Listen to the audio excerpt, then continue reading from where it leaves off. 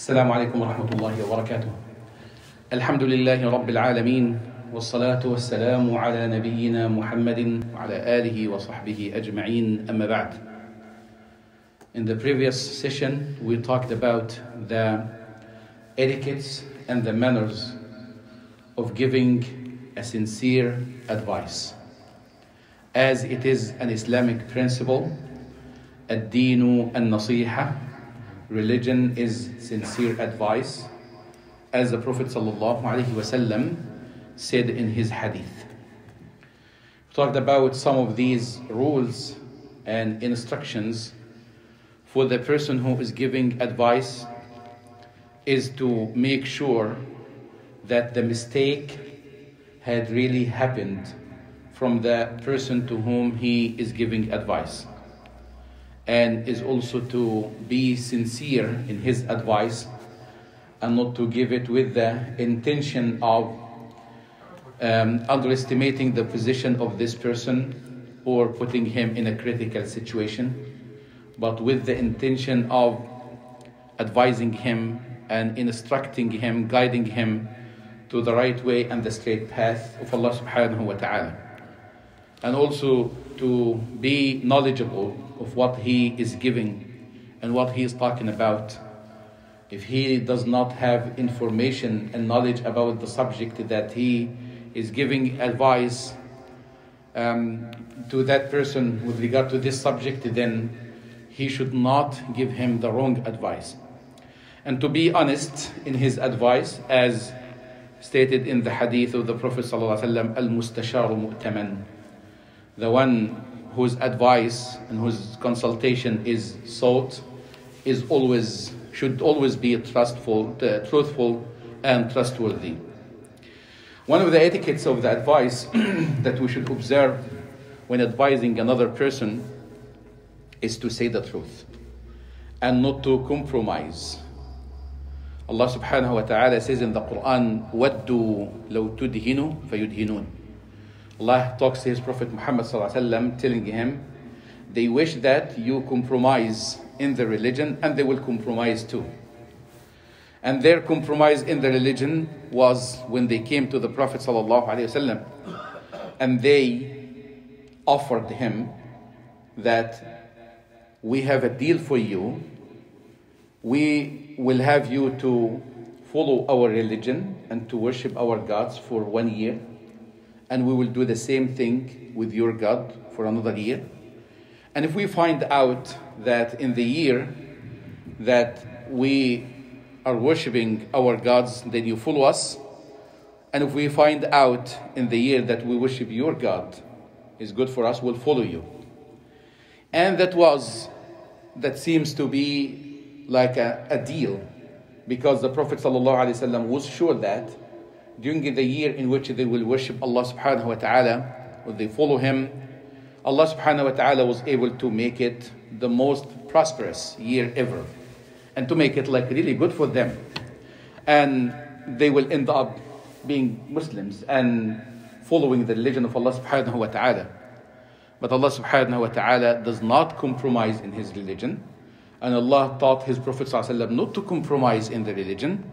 لا يداهن قال له قل يا أيها الكافرون لا أعبد ما تعبدون ولا أنتم عابدون ما أعبد ولا أنا عابد ما عبدتم ولا أنتم عابدون ما أعبد لكم دينكم ولي دين Say, O disbelievers, I, will not, I do not worship what you worship and you do not worship what I worship and I will not worship what you worship and you will not worship what I worship for you is your religion and for me is my religion so cut and dry the Prophet ﷺ made it very clear from the beginning I'm inviting you to the, to the religion of Allah subhanahu wa ta'ala.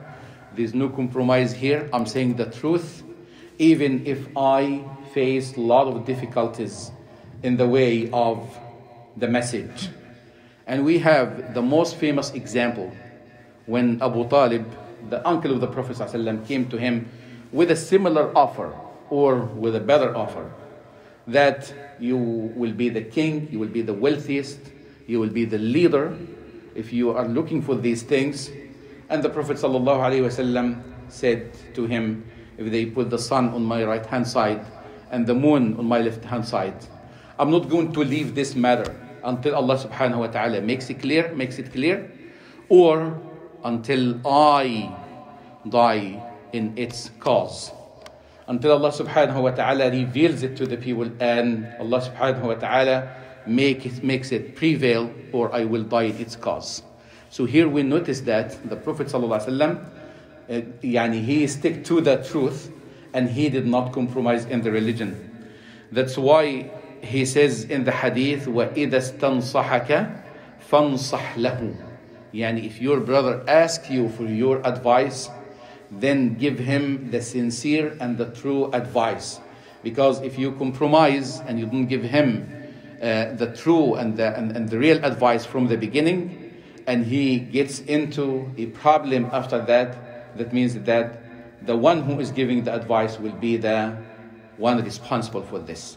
That's why from the very beginning, you see what is real, what is true, say it and do not hesitate. قل الحق ولا تداهن في النصيحة. One of the etiquettes of advice, and this is very important, is to give it secretly and not to say it publicly. من وعظ أخاه سرا فقد نصحه وزانه ومن وعظه علانية فقد فضحه وشانه. Whoever advises his brother secretly, then he really gives him the good advice and he really kept his honor. And whoever advises his brother uh, publicly, he really disgraced him and he really puts him in a very bad situation. We see that was the way that the Prophet ﷺ was all the time with his companions. Most of the advice of the Prophet ﷺ was given in a public, uh, in, in a public manner. That he saw somebody doing something wrong in the salah, or coming running to the salah, or making mistakes, or committing sins, he used to stand up in front of the people and speak to them generally, not to specify and not to point to one specific person, not to put anyone in a critical situation. ولذلك المؤمن يستر وينصح والفاجر يهتك ويعير. the true believer is the one who gives the advice and conceals it. And he gives the advice secretly to his brother and does not go out and brag about it or talk to someone else about it that he had already given advice secretly to that person. In this case, he is actually publicizing it. So the true believer is the one that gives the advice and he conceals it. He does not disclose it to the other people. But the fajir, the wicked, the bad, the evil person, is the one that disgraces others and he just uh, keeps like rejoicing over their mistakes. And he always blame blaming them. And he is always criticizing them. And he doesn't know that maybe the second day the person will be in the same situation we are all living in this world and we have been tested with so many tests in our life and each and every one of us definitely has a specific test in his life has one or more or less, subhanallah al-azim. This is the, uh, the nature of this life. As Allah subhanahu wa ta'ala describes it in the Quran, لِيَبْلُوَكُمْ That Allah will test you. أَيُّكُمْ أَحْسَنُ عَمَلًا Also, one of the um, etiquettes of the advice is to give the advice to the one who needs it.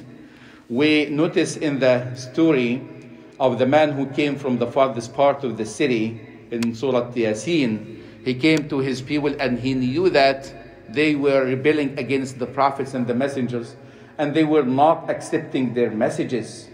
And then he came to them, جاء رجل من أقصى المدينة يسعى وجاء رجل من أقصى المدينة يسعى قال يا قوم اتبعوا المرسلين He said, my people follow the messengers and the prophets. Same thing happened with the believing man from the people of Fir'aun when he came from the farthest part of the city advising Fir'aun and his followers to follow Prophet Musa alayhi salatu wasalam and the message of Prophet Musa alayhi salatu wasalam. So it is very important for the Muslim to know who really needs the advice and to go and give it to that person and not to hesitate doing it as these people did. The other thing is we have to also um, uh, consider the position of the one that we are giving advice. Subhanallah, the person might have a position in the community, he might be a very honorable, respectable person. So when we give advice to this person, we have to consider the position of this person We should not just cross the limits and the boundaries. See, the Prophet ﷺ had set the best example in that. When he sent his messengers to the leaders of the Romans and, the, and, uh, and, and Persia and other places, subhanallah, he was very, very respectful in his messages.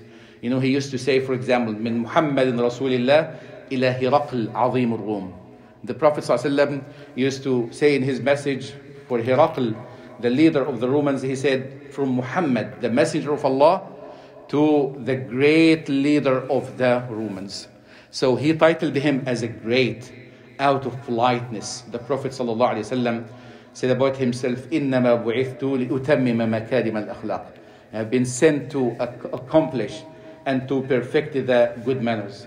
So when we give advice to the person, we have to give it in a very respectful manner and to observe and to consider the position of this person as the Prophet ﷺ did when he was giving advice.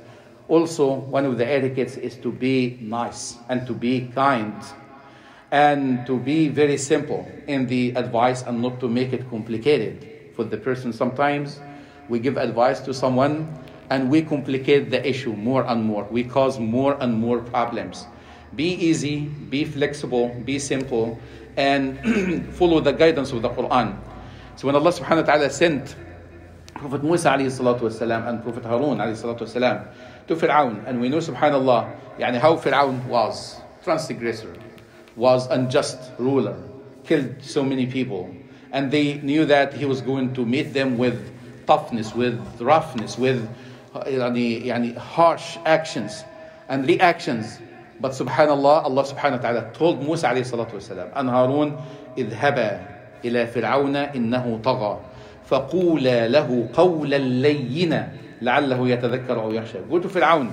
Indeed, he transgressed the bounds and the limits. But he said to them, say to him a soft word, soft advice. Do not be harsh, do not be tough on, on him. Allah subhanahu wa ta'ala also told his Prophet Muhammad uh, alayhi wa sallam, um, ولو كنت فظا غليظ القلب لانفضوا من حولك. يعني if you are harsh hearted, what will happen to your companions? They will just go away from you. ولو كنت فظا غليظ القلب لانفضوا من حولك فاعف عنهم واستغفر لهم وشاورهم في الأمر. Also one of the etiquettes of the advice do not make it very complicated, make it easy and simple. And also be patient. Be patient because you might give it one time and then the person does not accept it. So continue giving it. Continue until you see that the person is not willing to accept it anymore, is not willing to take it anymore. Khalas, at this point, you have done your job. Well, when it comes to the um, dif- there's a difference between giving advice to uh, someone else other than the family member. When it comes to the family member, there is no limit that you should stop. You should continue all the time, even if he does not accept it anymore. But you have to continue giving advice. We have this rule and this teaching from the Quran. Allah subhanahu wa ta'ala says, وَأْمُرْ أَهْلَكَ بِالصَّلَاةِ وَاصْطَبِرْ عَلَيْهَا أمر أهلك بالصلاة واصطبر عليها. Command your family, this advice, command your family to pray and be patient over them. اصطبر, he didn't say wasbir, but he used something higher than being patient. You have to be over patient over them because you might ask them and teach them to pray one time and two times. You might ask the, the kids one time to pray and they don't do it, another time to pray and they don't do it 10 times, maybe 15 times, and they don't do it. So you never give up. Allah subhanahu wa ta'ala says, وَاصْطَبِرْ عَلَيْهَا be persistent and be consistent. And sometimes they test the patience and the ability of the person to continue. So if they see their parents are giving up at a certain point, so they know that they will reach this limit and they will back up. They will just give up. But if you just continue and continue in a nice way and be persistent in your advice, it will work out We see the, um, the advice that was given by Luqman to his son. What did he say to him? وَأْمُرْ بِالْمَعْرُوفِ وَانْهَ عَنِ الْمُنْكَرِ وَاصْبِرْ عَلَى مَا أَصَابَكَ He said to him, command or enjoin what is good. Forbid what is wrong. Be patient over what happens to you. So we might expect, if I give somebody advice, I might expect some kind of reaction from this person that I will not like. That is absolutely fine. Because اصبر على ما أصابك. You're enjoining what is right. You're trying to command what is good and to forbid what is evil. But you might face some hardships and some difficulties. Allah subhanahu wa ta'ala says, وَاصْبِرْ عَلَى مَا أَصَابَكَ So more sabr and more patience will come and will be required when it comes to the family member. That we have to be patient and patient and patient. And last but not the least, never ever underestimate the position of the one that you're giving advice to, regardless of the mistake, regardless of the sin, regardless of the problem that this person got in. He might have committed the most evil sin that you can ever imagine. But we have to remember all the time that we are human beings and we are not infallible and we are not sinless. We might commit major sins. So if someone did something like really wrong, we should not disrespect this person. We should not despise this person. We should not put him down. We should be always nice to him and we should not be helpers and supporters of the shaitan against this person. لا تكونوا عونا للشيطان على أخيكم. We know the story of the man that was drinking during the time of the Prophet sallallahu alaihi wasallam, and he used to be brought, and the Prophet sallallahu punishes him, and he goes back and drink again, and punishes him, and go back and drink, and then, yani, too many times, back and forth, back and forth. He is always doing it. So one of the companions of the Prophet sallallahu alaihi wasallam يعني started talking bad about him. What an evil person. يعني ما أكثر ما يؤتى به. And the Prophet ﷺ, what did he say to him? Do not say this. Don't you know that he loves Allah and His Messenger ﷺ? So that was the situation. And one day, one of the companions was passing by a group of people. They are like really reproaching, blaming, and rebuking someone for something wrong that he did. And he said to them, لا تكونوا عونا للشيطان على أخيكم. Do not be helpers of the shaitan against your brother. So the Prophet ﷺ made it very clear in his hadith. بحسب امرئ من الشر أن يحقر أخاه المسلم. سبحان الله. بحسب امرئ من الشر أن يحقر أخاه المسلم. It is enough evil for the person to despise or to underestimate the position of his brother. Never ever do that. You're giving the sincere advice for the sake of Allah, seek the reward from Allah subhanahu wa ta'ala, and know that there might be some consequences for that. You get the reward from Allah, and Allah subhanahu wa ta'ala promises the greatest reward for that. نسأل الله سبحانه وتعالى أن يجعلنا جميعا من الذين يستمعون القول فيتبعون أحسنه أولئك الذين هداهم الله وأولئك هم أولو الألباب. اللهم اغفر لنا ذنوبنا واستر عيوبنا واشرح صدورنا وبلغنا مما يرضيك آمالنا. اللهم إنا نسألك الهدى والتقى والعفاف والغنى ومن العمل ما ترضى برحمتك يا أرحم الراحمين. اللهم اكشف عنا الوباء والبلاء. اللهم اكشف عنا الوباء والبلاء. اللهم اكشف عنا الوباء والبلاء. اللهم إنا نعوذ بك من زوال نعمتك ومن تحول عافيتك ومن فجاء نقمتك ومن جميع سخطك يا الله يا كريم. وصل اللهم وسلم وبارك على نبينا محمد وعلى آله وصحبه أجمعين. سبحانك اللهم وبحمدك أشهد أن لا إله إلا